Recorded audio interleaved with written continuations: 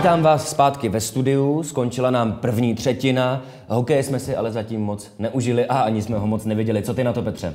Eh, Nezbývá mi než souhlasy, Davide. Já tady tu elektronickou tušku mám, můžeme se na to hned podívat. Pojďme na to. V první situaci vidíme eh, odhodlané oba týmy hráčů.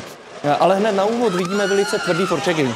Eh, Tady v téhle situaci dokonce vidíme, kdy hráči hostů jdou ve čtyřech, v pěti na jednoho hráče domácí. Hm, samozřejmě tvrdá hra k hokeji patří, ale tohle to už je možná trochu příliš.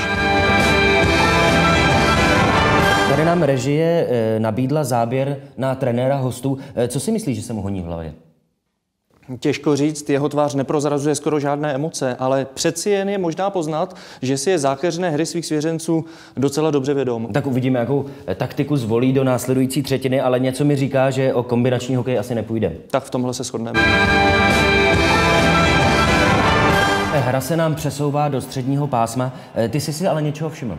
Hm, Ano, tady v rohu kluziště, úplně mimo hru, velmi tvrdý zákrok hráče, kterého teď bohužel nedokážu identifikovat. Hráč se velmi těžce zvedá z ledu, Eh, mně z toho běhá mráz po zádech. Teda. To mě také, já dokonce se obávám, jestli pro tohoto hráče neskončil celý zápas, možná celá sezóna. Byl v tom jasně likvidační úmysl a já nechápu, že to rozhodčí nepískal. Od čeho jsou tady čároví, od čeho je tady video rozhodčí? Petře, tohle s duchem fair play a možná ani se sportem nemělo nic společného. Eh, My doufáme, že se to v další třetině zlepší a předáváme slovo na stadion do Minsku.